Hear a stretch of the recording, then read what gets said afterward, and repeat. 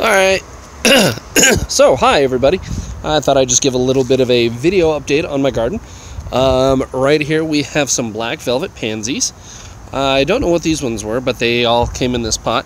It was about a quarter of this size, but as you can see, we do have some good uh, peaches and cream corn coming up.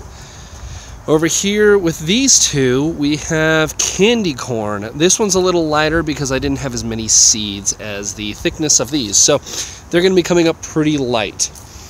Um, I do have some Big Max pumpkins here. These are, I planted these about a week ago. They should be coming up real soon. I feel like this is not really corn, so we're just going to go ahead and pick it. But you can see this is not corn because it's got several things growing out of a single piece. So we're just going to make sure all that is gone and it has been disposed of. Um, over here we have the night sky pansies. So this is one of my favorites, honestly. Uh, a little bit of romaine lettuce here. It's coming in quite nicely. I didn't even plant these. This is from the seed stock of last year. Um, I do have what I did last year. These right here as you can see behind the onions. These are more pepper plants, just like I did last year. These are my habanero peppers.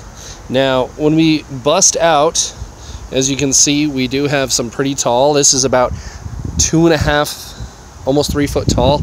These are my onions. These are just white onions. Uh, I'm growing these in compilation with some cilantro. Then I can do some great street tacos. As we move up, we do have some more romaine lettuce. Yes, this one is, again, not planted. Uh, looks very well. And some more of this. As we move up, this is a more of a combination pot here. Uh, some smaller romaine lettuce. And then this is the cream of the crop for my uh, peaches and cream.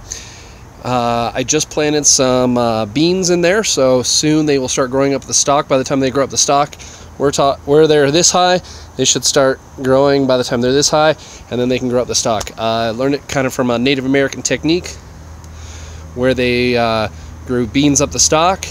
That way you don't have to put in uh, like ballast or anything. So uh, that is my front yard garden. Have a great night.